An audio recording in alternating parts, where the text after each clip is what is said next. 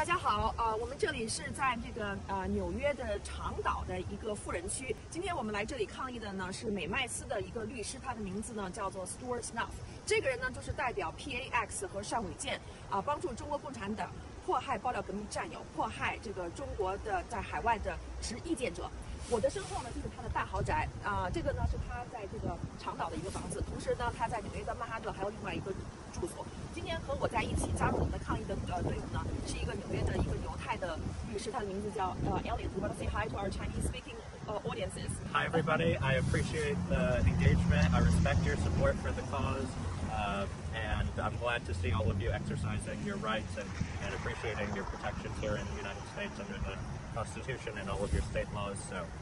thank you for, for your continued support. Thank you 啊、所以这个 Elliot 呢，他是出生在美国的一个犹太的一个家庭，所以呢，他说呢，今天他来到这里是支持我们新中国啊联邦人，支持我们报道革命的战友，我们实践这个美国的这个宪法第一修正案赋予我们每个人的神圣的权利。我们在美国这块自由的土地上，我们可以自由的为自己的这个信仰和自己的这个声音而发出这个呃呃声音来。所以呢，我们今天是开车两呃两个呃小时的话呢，我们来到呃这边进行的这个和平的抗议。我刚才有碰到这个 Stuart 他的一个邻居，这个邻居呢，他是一直都住在这里。他说这个这个地方呢，确实是 Stuart 这个这个呃房子，但是呢，他就是基本上是属于他的一个一个一个别墅型的。今天他不在这边，但是我们来这边的话呢，这个 Stuart 每个邻居都会收到我们一封这个给邻居的一个公开信。在这封信里面，我们告诉这个他的身边的这个邻居和住在社区里面的人，这个 Stuart 呢，他是代表这个中共的这个 PAX 帮助中共特务尚伟健在海外迫害这个爆料革命的战友啊，所以的话，当这个邻居听到我说的这个时候，